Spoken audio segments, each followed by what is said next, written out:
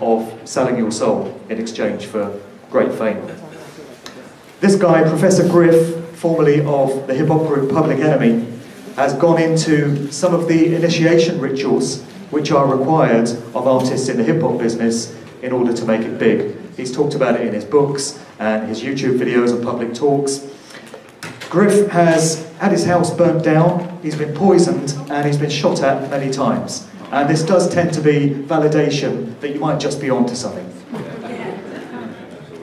And he tells a story about how many uh, prominent hip hop artists, the sort of things that they have to do in exchange to make it big. And he tells a story about this guy, Sean Combs, aka Puff Daddy, P. Diddy, whatever the hell he's calling himself this week. And the story that Griff tells is that uh, apparently Puffy, along with many others it would seem, was required to go through an occult ritual which involved lying naked in a coffin, surrounded by his peers, uh, masturbating and recounting his entire sexual history. And this is apparently uh, a version of an initiation ritual that takes place within the Skull and Bones Society at Yale University. They've got a version of it for the music industry. And no coincidence that Puffy crops up time and time again in the Forbes hip hop rich list because they do one of those.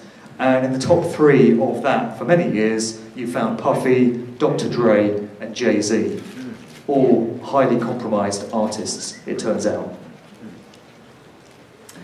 And it's not as if they don't give their little symbols and their little clues as to what's going on. Uh, the dark forces that control the music business and the A-list artists that they use do tend to leave their calling cards everywhere and give you little reminders of who's running the show. Uh, this goes into, this ties into sigil magic, which is what John and Bonnie Mitchell were talking about in the video that we saw on Friday evening. Very much connected to what goes on in the music game. So often with Jay-Z, you see him flashing up this hand signal, this triangular sort of arrangement. And the cover story that is always given for it, and the way that Jay Z has uh, explained it, is that it's the rock sign. It's said to be uh, the depiction of a diamond. And this ties into the name of Jay Z's record label, which initially was Roc-A-Fella Records. Interesting choice of name. These days it's called Roc Nation. But there was a video on YouTube, which is not there anymore, but from 2009, where Jay Z was saying he invented this sign. And it was the rock sign, it uh, symbolizes a diamond, and it's the bling culture of hip hop. But it's not the only time you see this uh, particular symbol. There's Kanye West, his uh, stooge mate doing it as well. Uh, here's Beyonce, who flashed up this symbol, Mrs. Jay Z, of course, at a Grammy Awards ceremony a couple of years ago. And here is Anton LaVey, High Priest of the Church of Satan, who just happens to be doing the same symbol back in the 1960s. And it turns out to be known as a triangle of manifestation. And the idea is that it uh, symbolizes the unity of mind, body, spirit, thoughts, emotions, actions. And when you've got those three elements in balance and all working together, you are supposed to be able to imbue this symbol with your will and your intent of whatever you wish to manifest into physical reality. So a little bit different to uh, a diamond celebrating hip-hop bling culture. And what you get at Jay-Z concerts is he will throw up the instruction for all the fans to put their rock signs in the air and on instruction you have sort of 10,000 people in a stadium all throwing up this sign. And it raises the interesting question of what it might be that that sign has been imbued and empowered with in terms of the will and the intent of those that are creating it. Another simple calling card that we see time and time again is prominent artists covering one eye or highlighting one eye in some way. A couple of examples of Rihanna doing it, a couple of examples of Lady Gaga. And here's every other goddamn artist in the entire industry. if you have a favourite musician who has had a hit record in the last five years, they'll be in that picture somewhere. People say it's just a coincidence. People say they're doing it to be cool, it's just a way of being fashionable. This, to me, goes way beyond the realms of coincidence. Don't know about you, just the way I feel about it. Another symbol that we see a lot, Beyonce once again, throw, throwing up the, uh, the sign, it's supposed to mean okay, everything's okay, everything's cool. We see this time and time again. Here's a young Michael Jackson, flashing up the same symbol. Okay, before we go to that one.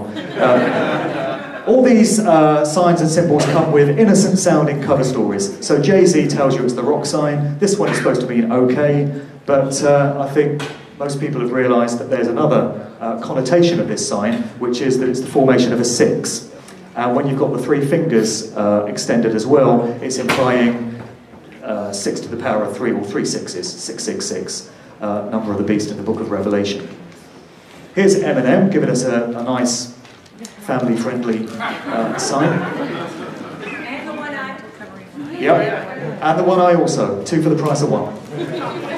And this one, uh, it's all to do with the way the thumb is extended, but the uh, cover story for this one, or the innocent version of it, is that it's supposed to mean I love you. It really, it says that, doesn't it? And it's supposed to be part of uh, uh, sign language for the deaf that was invented by this woman called Helen Keller decades ago. And so when you see that sign being done in public, it's supposed to mean I love you. It's supposed to, supposed to be a capital I, capital L, and a U arranged in some way so that it's represented by that. Now, here's your last president, village idiot Bush, when inbreeding goes wrong. And uh, he's just the sort of fella to say I love you in public, isn't he, really? Really, really goes. Here's the current president who just happens to be doing the same sign, more or less. And here's your next president. Good luck with that one. Let me know how it works out for you. So, of course, they're all saying I love you because they like that, they care. But here is what I and many other researchers think is being evoked here. It's Baphomet, this um, androgynous horned entity, which is very much beloved of the dark forces controlling the music industry. You see depictions of Baphomet cropping up time and time again in videos and all sorts of other things. And so this symbol that you see politicians doing as well as musicians, I would suggest is uh, an evocation of Baphomet. and incredibly, there are still people in the world, particularly in the UK, that think Russell Brand is some kind of genuine representative for critical thinking truth seekers everywhere. And they seem to think that Russell Brand is here to help us and save us and lead us. These pictures tell a different story. When it comes to red flags about Russell Brand, I could do an entire day's presentation on that alone. Anyone that still thinks Russell Brand is the real deal, I really don't know what to tell you.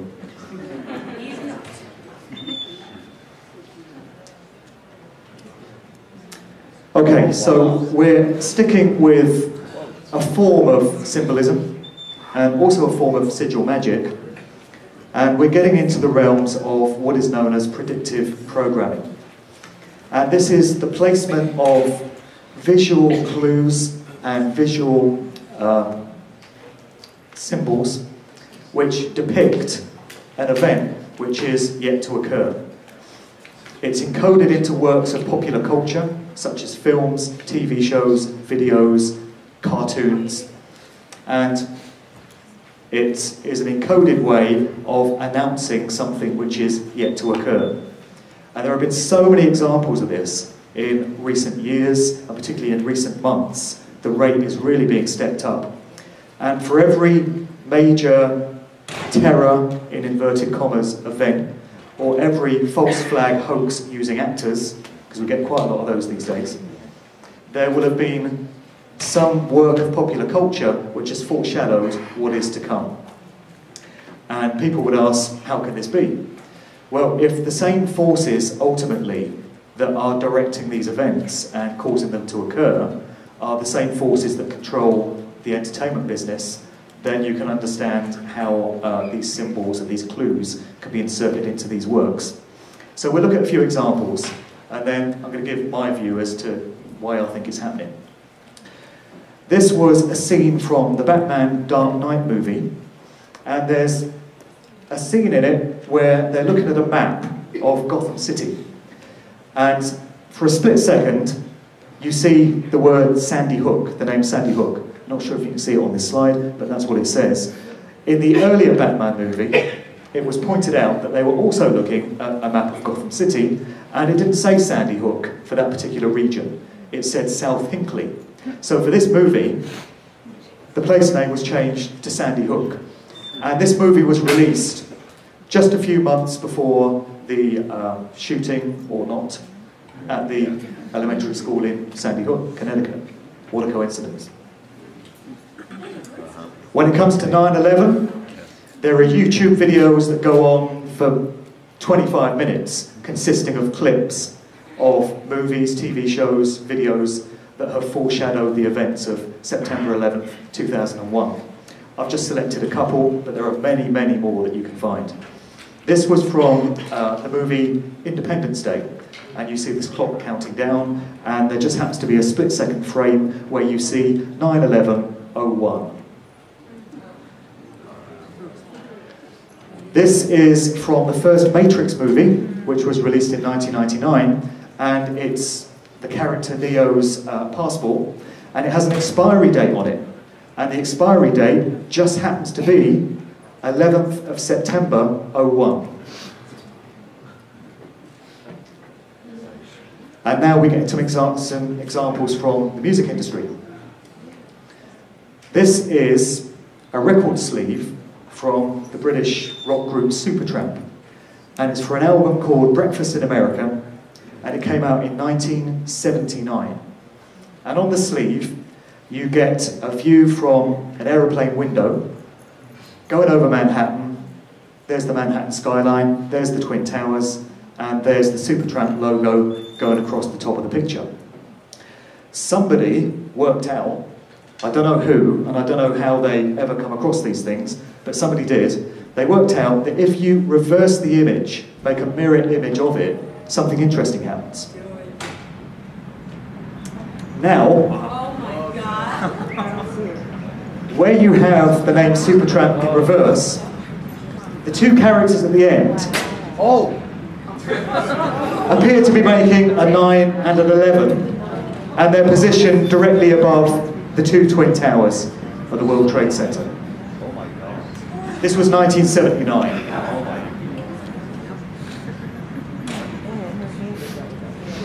This was a little known hip hop album, wasn't a big hit, uh, from a group that's not too well known uh, called The Coup. It was from an album called Party Music, and it was released in June 2001 with this original sleeve. And it depicts the Twin Towers of the World Trade Center exploding exactly the way they did three months after the album was released. And uh, Boots Riley, the, the guy there, the frontman of the group, is said to have designed the sleeve. And he said that it was designed to be a statement against capitalism. And he said that, you know, when the events of September 11th happened, he was shocked at how this album seemed to foreshadow it. So who knows what the true story is there, but a very interesting sleeve to have come out at that point. And there's a more accurate, there's a more accurate rendering of uh, what probably went on.